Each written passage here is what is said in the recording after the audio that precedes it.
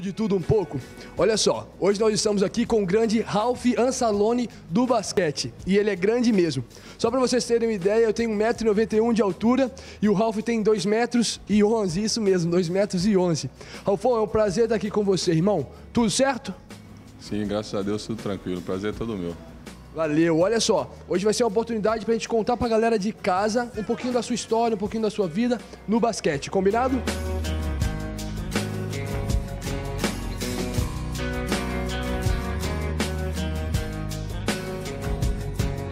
Conta aí pra galera de casa, Ralf, como começou a sua trajetória no basquete. Eu comecei aqui em Belo Horizonte mesmo, no clube do Esporte Clube Ginástico. Comecei com 15 anos, joguei durante 3 anos lá na categoria de base. Aos 18 eu fui para Uberlândia e de lá eu segui minha, minha vida profissional. Tem 10 anos aí na, na vida profissional de basquete. Como é, Ralf, você uh, viajar aí pelo, por vários estados do Brasil, fazer o que você mais ama, que é que é estar tá em quadra, que é estar tá vestindo a camisa de vários times? Como é isso para você? Ah, é muito bom. Eu, eu, comecei sem, sem esperar, comecei a jogar basquete sem esperar. E hoje eu consegui é, é, adaptar no, no, basquete, foi, foi muito difícil, mas hoje, graças a Deus, eu consigo jogar basquete profissionalmente, jogando aqui em Belo Horizonte, jogando fora do país, viajando para vários lugares do mundo, conhecendo o mundo afora. E está sendo uma experiência extraordinária, sensacional para mim.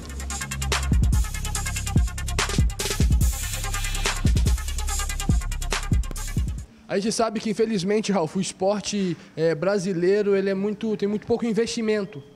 Como é isso hoje, com a crise que a gente tem vivido? Como é, como é viver do esporte no meio dessa crise econômica hoje no Brasil? A gente tenta é, adaptar o máximo possível, né? Quando a crise afeta, não afeta uma ou outra pessoa, afeta todos. Então a gente tenta adaptar ao máximo para poder continuar jogando sem que isso afete tanto. Mas querendo ou não, acaba afetando um pouquinho a gente também. É verdade, mas a gente sabe que acima de crise, acima de todas as coisas, Deus está acima de tudo. E como é para você a sua relação com Deus? O que o Champions representou para você aí na sua trajetória com Deus? É, eu confio muito, acredito muito em Deus. É, eu conheci o Champions através da, da, da minha amiga Emanuele, amiga nossa, de vocês também.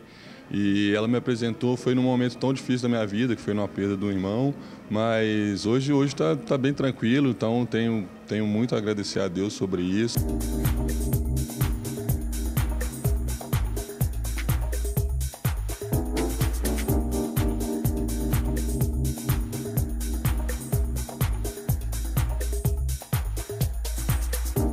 A gente sabe que a última temporada que você teve aqui no Brasil foi no Minas Tênis Clube.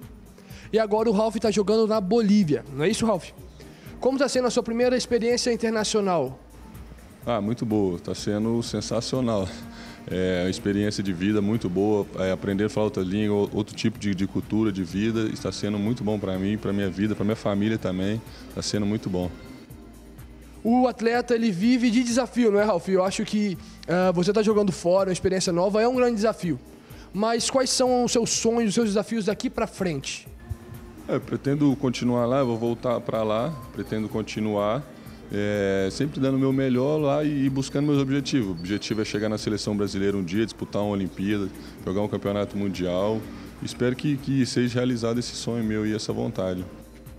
Show de bola. E agora eu quero que você fale para o pessoal de casa o que, que o Champions ele representa para você hoje. Como é ter, ter o grupo todas as segundas-feiras, como é para você?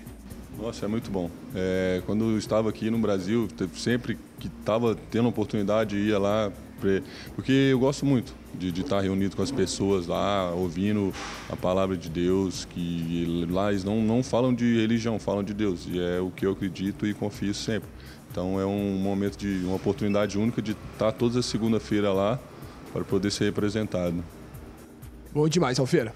Ralf, agora eu quero que você deixe aí um recado para todo mundo que está em casa, talvez quem está começando a jogar basquete, começando na vida uh, do, uh, como atleta. Um recado para ninguém desistir, para todo mundo ir em frente. O que você pode falar para a galera aí? É, é, o que eu sempre falo para primos, amigos, conhecidos, para as pessoas que estão próximas a mim, para nunca desacreditar do sonho. Quanto mais a gente acredita, mais Deus está com a gente e a gente tem que continuar acreditando sempre para a gente poder alcançar os nossos objetivos na vida.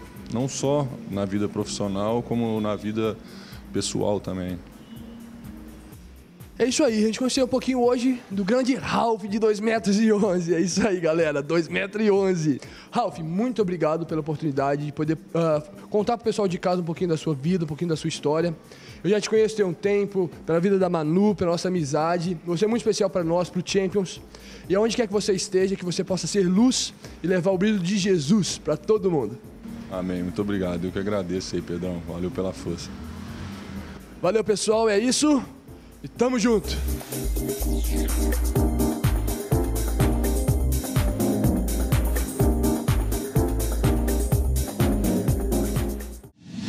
Para receber todas as novidades do canal, inscreva-se e se curtir o vídeo, clique em gostei. Aproveite para acompanhar a Rede Super nas redes sociais.